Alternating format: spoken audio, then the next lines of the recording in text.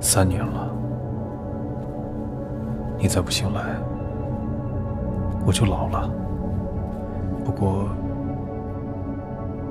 应该很快了吧？你很快就能醒来。十儿，我明日再来看你。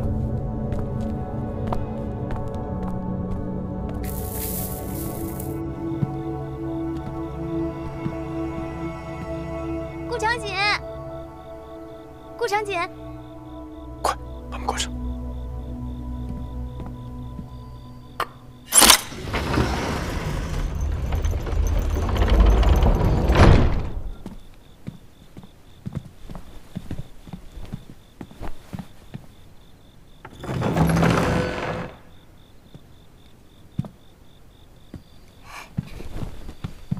顾长锦，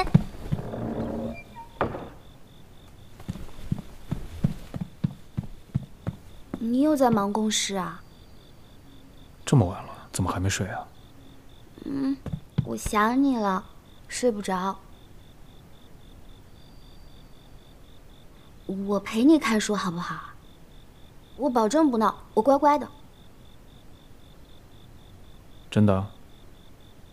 真的。那好吧。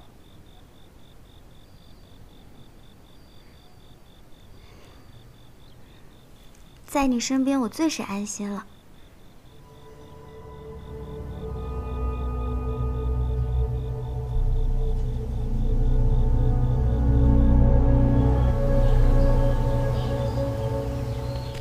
哎，公子，哎呦，哎呦，大公子，景岳府啊，他们还挺会找地方的啊，让本公子受如此大辱，躲到哪儿都没用。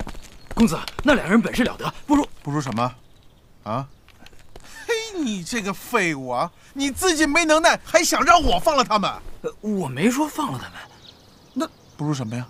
不如不要惹他们了。我，哎呦，哎呦，苏家哥退你这！个废物，你给我滚！我再也不想见到你了，你给我滚！哎呦，先生，大公子，你为何事如此愤怒啊？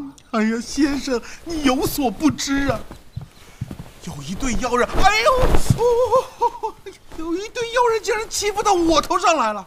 他们他们还会使那种妖兽，你知道吗？那个棍子呲儿一下就飞过来，追着我打，打我屁股，那把我打的呀！大公子莫要惊慌，那些只不过是寻常的法术罢了。这这还寻常啊？我猜测那两位也就是普通的艺人。待我着几位方士，帮大公子除去便是。好，好，好，如此甚好。我要让那两个妖孽看看，他们算什么东西！他们打我屁股。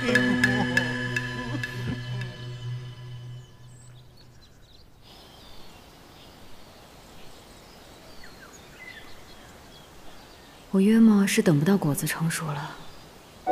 行云做的东西那么好吃，他种的果树结的果子应该也很甜吧。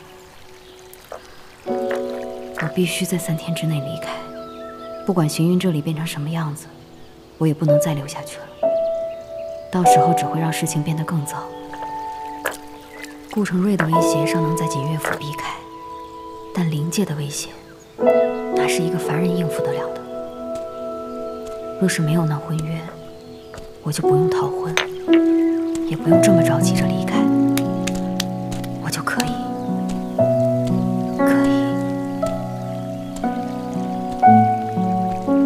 沈亮，这院子中的阵法被我改成了吉凶之阵，一到晚上尤其厉害。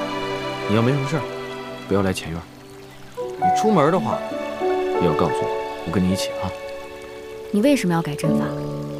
不就是为了你跟我能踏实的睡个好觉吗？